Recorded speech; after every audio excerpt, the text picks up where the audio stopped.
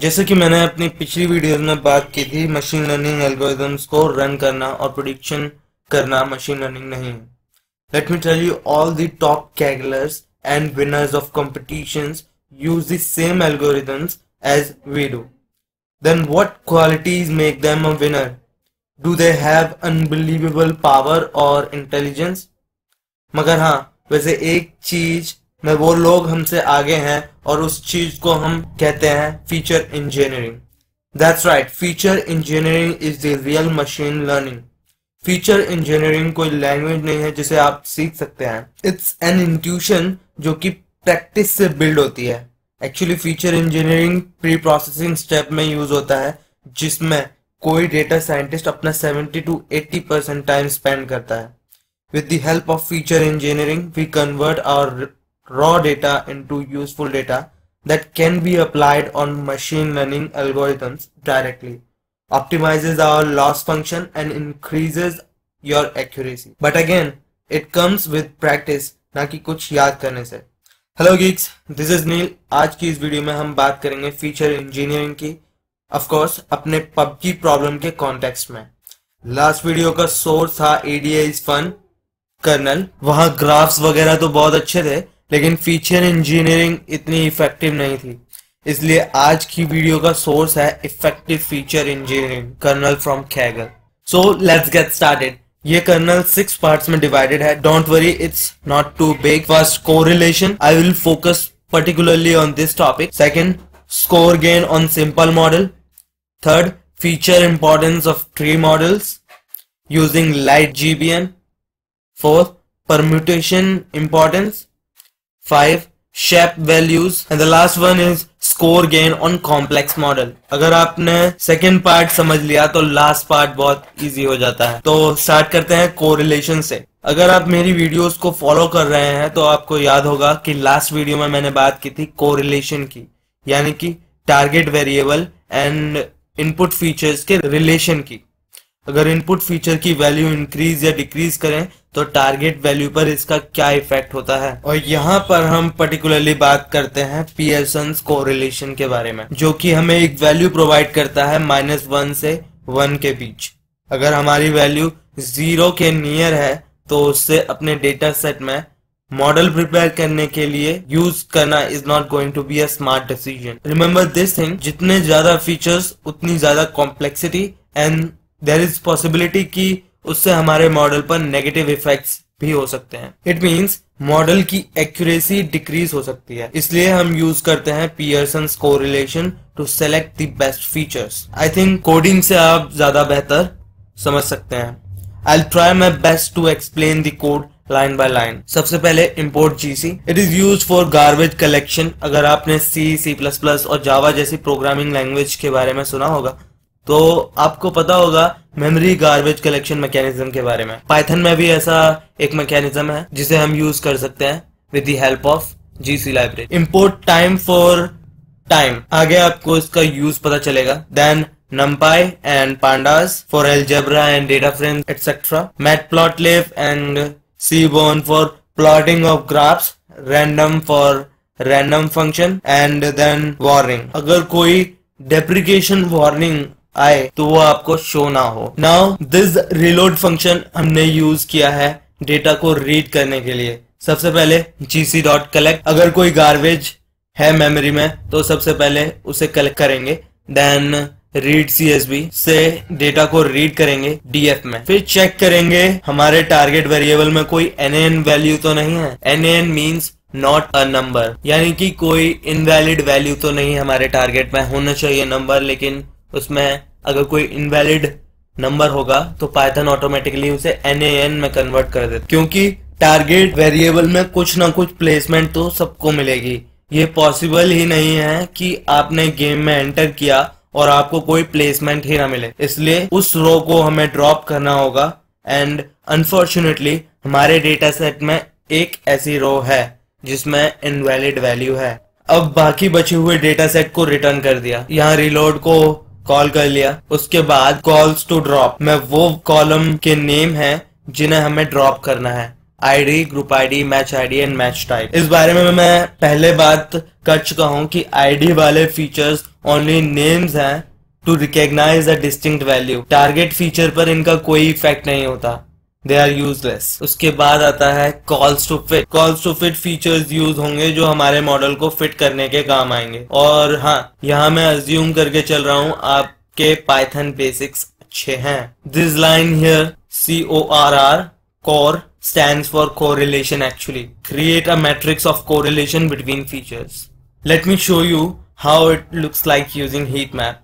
सबसे पहले graph plot करने के लिए फिगर साइज़ डिसाइड करना होता है using matplotlib plot dot figure fig size equals to 9 7 here size of figure will be 9 cross 7 next, heat map using c1 सबसे पहला पैरामीटर है correlation matrix and then column names at X axis and Y axis with line colour white with 0.1 C map the mapping from data values to color space plot dot show to show the plot this is how it looks like but there is something missing yeah those statistical numbers are missing जो हमें बताते हैं कि किसी features में कितना relation है Now the best part feature creation. First, AGG df.group by group ID dot size to frame players in team यानी कि ग्रुप में कितने मेंबर्स हैं ये पता कर रहे हैं। और जो नया कॉलम क्रिएट होगा, उसका नाम हम रखेंगे प्लेयर्स इन टीम अब हमने एक कॉलम तो क्रिएट कर लिया, लेकिन अब बारी आती है उसे मर्ज करने की हमारे डेटा सेट में। उसे मर्ज कर रहे हैं हम डीएफ में। किसे मर्ज कर रहे हैं? एजीजी को। How left on group ID ये जो ग्रुप आईडी है, बिल्कुल, अगर आपने एसक्यूएल पढ़ा होगा, जहाँ पर लेफ़्ट ज्वाइन के बारे में अगर आपने सुना हो। और ये ग्रुप आईडी इन दोनों ही डेटा में होना चाहिए। जैसे कि यहाँ ग्रुप आईडी एजीजी में है एंड यहाँ ग्रुप आईडी डीएफ में पहले से अवेलेबल है। तो इस कॉलम के बेसिस से हम इसे मर्ज कर रहे हैं। Column names to join on these must be found in both data frames if on is none and not merging on indexes then this defaults to the intersection of the columns in both data frames. Here we are creating a new feature headshot kills over kills TF headshot kills which is a feature already present in our dataset and divided by F kills जैसा कि मैंने आपसे पहले भी कहा है ये चीज़ें सिर्फ़ प्रैक्टिस से आएँगी फ़िलहाल इसमें कुछ एन वैल्यूज़ क्रिएट ज़रूर हुई होंगी तो उसके लिए यूज़ करेंगे फिल एन ए और जहाँ जहाँ एन एन वैल्यूज़ होंगे, वहाँ ज़ीरो से रिप्लेस कर देंगे। And another thing if you divide something by zero you get infinity right आपको पता है कि किल्स में कितनी ज़ीरो वैल्यूज़ हैं तो इन्फानाइट वैल्यूज़ भी क्रिएट होंगी। Then we have to get rid of these values उसी तरह ऑथर ने एक और फीचर ऐड किया है kill place over max place उसमें भी infinity and N N values को रिप्लेस किया है ज़ीरो से। Here N N values are being replaced by zero and here we are replacing N P dot I N F यानी positive infinity values with zero and here in place equals to true means जो भी action perform हुआ है, वो original data में भी reflect होगा। It is something like call by reference और कॉल बाय वैल्यू अगर आपने C++ और जावा जैसी लैंग्वेज के बारे में पढ़ा होगा तो उसमें किसी भी फ़ंक्शन को कॉल करने के लिए दो तरीके होते हैं call by reference and call by value call by value में जो हमारा ओरिजिनल वेरिएबल होता है, उसमें रिज़ल्ट फ़ंक्शन के बाद रिफ्लेक्ट नहीं होता। लेकिन जब हम कॉल बाय रेफरेंस करते हैं तो उसमें रिज़ल्ट फ़ंक्शन कॉल के बाद रिफ्लेक्ट होता है। हमारे पास स्टार्टिंग में 29 फीचर्स थे। उसके बाद हमने चार फीचर्स ड्रॉप कर दिए and now we have added three new features AGG यानी कि players in team, headshot kills over kills, and kill plays over max plays तो टोटल हुए 28 फीचर्स लेकिन अब हम सिर्फ़ सम सेलेक्टेड फीचर से कोरिलेशन मैट्रिक्स फाइंड करेंगे, जिन्हें हमने पिछले हीट मैप में मोस्ट कोरिलेटेड पाया था। Before going any further let me show you which values are most correlated as you can see here, जिन बॉक्सेस में व्हाइट कलर वो फीचर्स हमारी टारगेट वैल्यू से काफ़ी ज़्यादा कोरिलेटेड नहीं है, और हमें चेक करना है यहाँ। विन प्लेस पर्क हम यहाँ चेक करेंगे। विन प्लेस पर्क खुद से कोरिलेटेड है। ये तो ऑब्वियस सी बात है, कोई भी फीचर खुद से कोरिलेटेड होगा ही होगा। इसीलिए सारे फीचर्स जैसे असिस्ट यहाँ से खुद से कोरिलेटेड है, उसके बाद बूस्ट खुद से कोरिलेटेड है।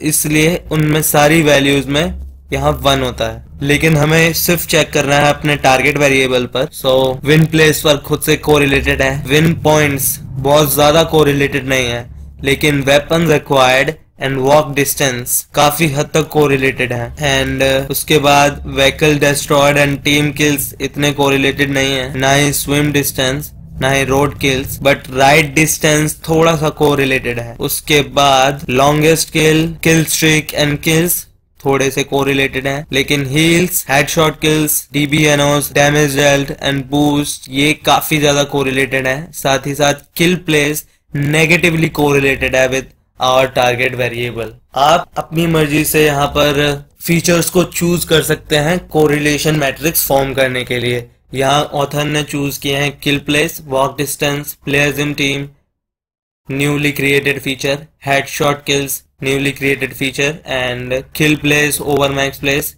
it is also newly created and this is our target variable plot dot figure 86 heat map correlation columns name and this time we will add a new and not equals to true जो कि हमें values देते हैं 1 से minus 1 के बीच और अगर value tense to zero है तो फीचर्स इतने इंपॉर्टेंट नहीं है जितना टेंस टू वन और माइनस वन होगा This is how it looks. Kill place, walk distance, players in team, headshot kills over. You can see here win place खुद से काफ़ी ज़्यादा correlated है इसलिए win place, win place one. Win place kill plays over max plays से भी काफ़ी ज़्यादा correlated है minus 0.59.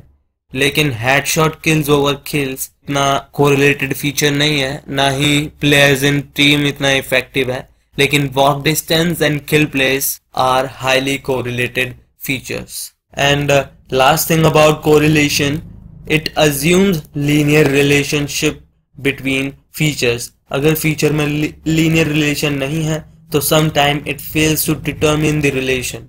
इसलिए ये best approach नहीं है लेकिन it is very easy and simple approach. This is the first video of feature engineering. In the next video, we'll see some reliable approaches. और हाँ आपको ये कोड लिखने की ज़रूरत नहीं है you can fork this notebook. This is your private notebook and now you can play with it. आप अपने मन से कुछ भी ऐड या रिमूव कर सकते हैं सो कीप एक्सपेरिमेंटिंग यहाँ पर आपको जीपीयू का फीचर अवेलेबल है तो मैं रेकमेंड करूँगा, सबसे पहले आप जीपीयू ऑन कर लें। इससे आपकी स्पीड बूस्ट होती है।